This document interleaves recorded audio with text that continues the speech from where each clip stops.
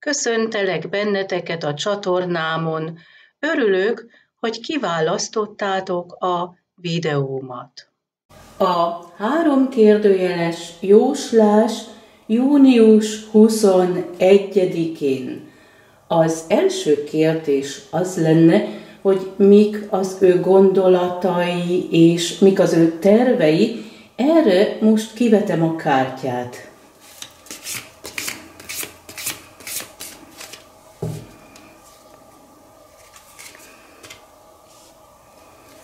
A második kérdés pedig az lenne, hogy milyenek az ő érzései. Mi bepillantunk most az ő érzelmi világába.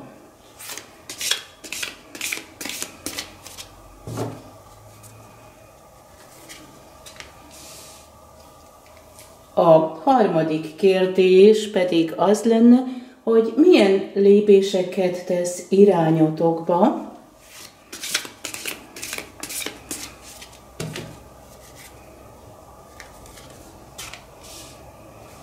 Ehhez jön még egy napi kártya,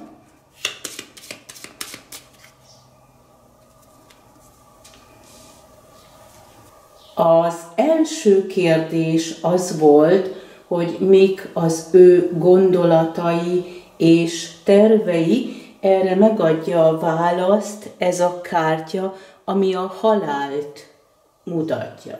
Természetesen lehet egy örökségi ügy is, amire itt az iratok is mutatnak, de ez inkább azt jelenti, hogy ő valamit le akar zárni, egy kapcsolatot, vagy a munkahelyét, és pontosan erre utal ez a kártya is, és mutatja az ő érzelmeit. Ezzel a kulcssal valamit le lehet zárni de lehet valamit kinyitni is. Tehát ő most így a változások előtt áll, valamit befejez, de ő nyitott arra, hogy valami újat indítson. A harmadik kérdés pedig az volt, hogy mit közöl veletek, milyen lépéseket tesz irányotokba. Erre megadja a választ ez a főpap nő, és ez a főpapnő őrzi a sors könyvét. Egy sorsdöntő fordulat fog következni. De ez a kártya arra is utal, hogy jön egy hír, vagy ő vár arra, hogy ti írjatok neki. A napi kártya, ez a felhő, ez az átláthatatlan dolgokra utal.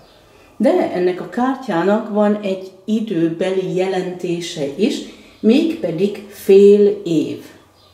Az lehet, hogy visszatekint a múltba, mi volt hat hónappal ezelőtt, vagy tervez valamit, amit a következő hónapokban el szeretne érni. És ez volt a három kérdőjeles jóslásom. Egy általános jóslás – Viszont megvan arra a lehetőség, hogy kérjetek tőlem egy személyes jóslást áll néven. A díjam 3500 forint. Asztrológiával kiegészítve 8500 forint. Köszönöm figyelmeteket, viszont hallásra!